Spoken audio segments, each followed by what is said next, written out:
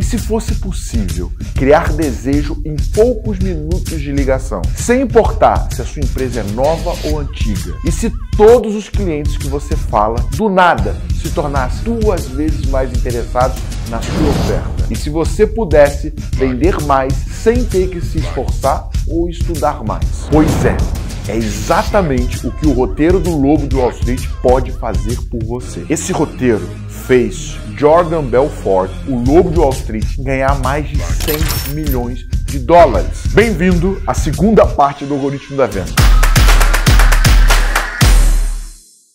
Esse é o segundo vídeo de uma série de três vídeos, onde você vai entender como decodificar a venda, dominando 100% do processo de convencimento, usando nada mais nada menos que um roteiro de vendas validado, que já gerou mais de um bilhão de reais em receitas nos mais variados nichos, com os mais variados tipos de cliente e que vai tornar o fechamento de um novo cliente algo mais simples. Na Stratton Ockman, a prospecção era feita basicamente por ligação fria, ou seja, por telefone.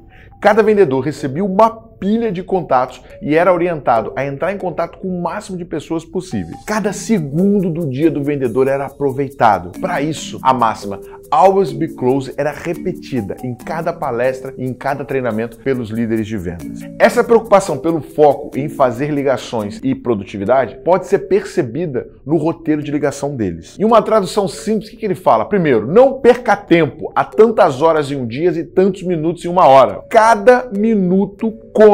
Você passa a maior parte do seu dia tentando fazer contato. Você tem que discar. Chama muita atenção a maneira como eles valorizam a produtividade. Não é à toa que os caras vendiam pra caramba. Inclusive, se você tem um time de pré-vendas e um time de vendas, manda os caras prestarem muita atenção nesses pedaços, porque aqui tem uma aula sobre como vender mais e como ser mais produtivo. É o caso a grana que você quiser. Se você colocar em prática esse roteiro dentro do teu negócio, você vai ver já no primeiro mês o teu resultado subir. Nunca faça comentários sobre cada uma das suas ligações ou após cada telefonema. Nesse ponto ele fala o seguinte: nunca perca seu tempo conversando ou brincando com outros corretores ou com outros estagiários. No final de cada dia, você está sendo avaliado pelo seu desempenho. Se você deixar a pessoa do teu lado te distrair, por consequência, você vai ter menos resultado. Não seja um bobo. Vocês todos estão em uma missão para ser um corretor ligador. Passar nesse teste é ser um corretor bem-sucedido. Qualquer outra atividade além da sua missão é uma perda de tempo. Não desperdice tempo, não tenha maus hábitos e não se distraia. Não faça telefonemas improdutivos para amigos de fora ou corretores dentro da empresa. Os telefones na sua mesa são para fazer negócios e ponto final. Nunca vá para a cozinha ou para qualquer outro espaço recreativo enquanto você tem que fazer ligação fria.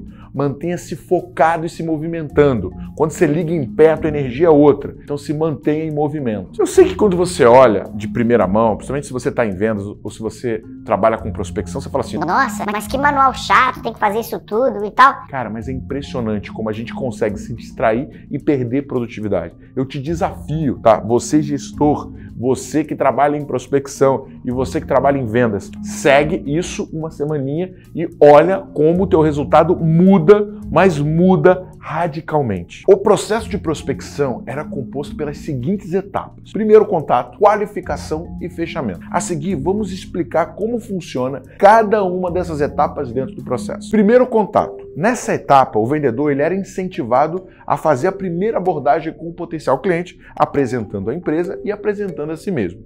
No documento, a gente consegue ver como eles eram treinados, mostrando quais eram as palavras que ele usava e de que maneira funcionava esse discurso. Nesse ponto, ele chama de chamada de qualificação. E ele fala o seguinte: Olá, senhor, nome e sobrenome, por favor, aqui quem fala, nome do corretor, da Stratton Ockman, em Nova York. Como você está hoje?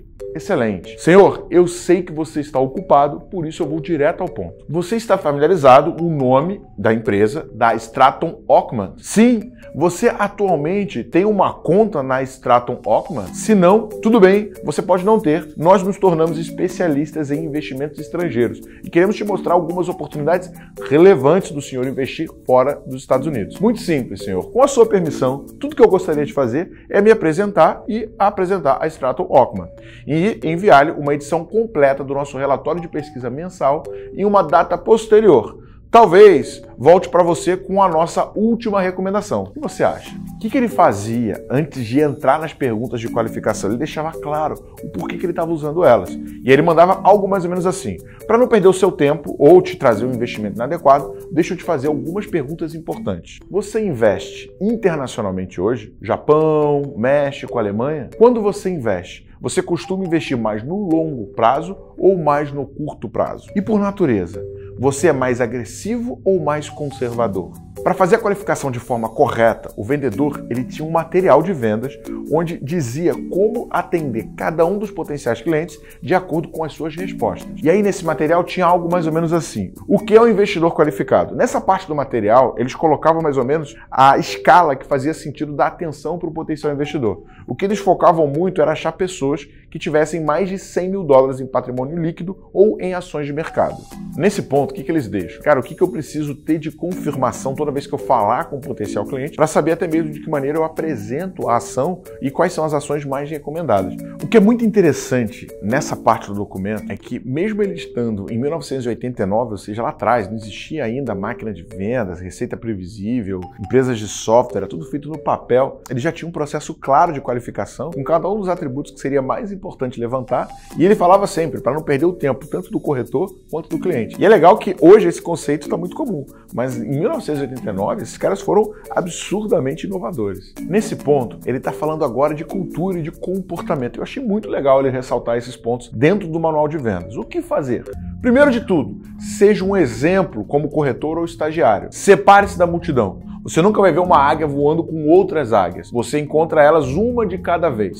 Seja sempre educado e profissional. Cada contato que você faz é uma apresentação da empresa. Tente manter-se motivado e cheio de energia ao longo do dia. Isso aumentará a resistência, que é a base mais importante para o sucesso. Esse negócio não é uma corrida de 100 metros, mas uma maratona. Nunca se esqueça disso. Aproveite ao máximo o seu dia, mantenha o foco e mantenha os olhos nos seus objetivos, diários, semanais e mensais. 6. Jogue pelos números. Está comprovado. Cumpra-o. Fale com 50 pessoas por dia ou 5 a 6 pessoas por hora. Essa é uma profissão de números. Quanto mais você contatar, melhor você realmente se sairá. Com base nas respostas adquiridas na etapa anterior, o vendedor ajusta seu discurso de venda, a fim de oferecer um produto que seja em conformidade com o seu perfil. Após a qualificação, a prioridade era apresentar a ele a oferta da Stratton Ockman. Nesse momento, o vendedor utilizava uma técnica criada por Jordan Belford